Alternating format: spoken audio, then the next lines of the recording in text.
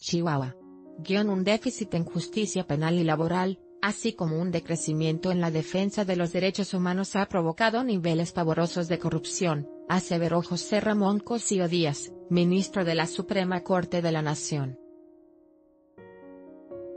Durante su participación en el panel Transición Política y Estado de Derecho en el marco de la Convención General de la NADE, el jurista alertó del riesgo de un proyecto de nación basado en la informalidad. Hay que atender a la racionalidad política, en cómo organizar el ejercicio del poder político con normas y límites bien delimitados, enorme trabajo burocrático que si no se hace, propiciará la disolución aún mayor del Estado de Derecho, y nos instalará en un estado de las cosas donde predominarán las excepciones, y la violación a las reglas en todos los ámbitos, alertó. La transición política ya terminó, en algún punto de la década de los 70 que aún se debate, hoy día se busca un cambio político con base en la participación democrática.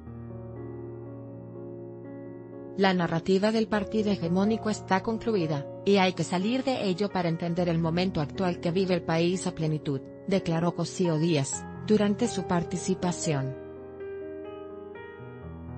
Asimismo, el jurista hizo énfasis en la necesidad apremiante de que definir, y consolidar el concepto de Estado de Derecho en el país, ya que llegamos al 1 de julio con un montón de déficit en este aspecto, tenemos una transición inacabada a la justicia penal y laboral, a la oralidad en materia civil y mercantil que no nos quedan claras. En este sentido, alertó sobre el decrecimiento que en años recientes se ha visto en el ejercicio y defensa de los derechos humanos en el país, que a menudo son pasados por alto por el aparato judicial y las autoridades, bajo la justificación de perseguir males mayores que justifican el atropello de los derechos humanos fundamentales.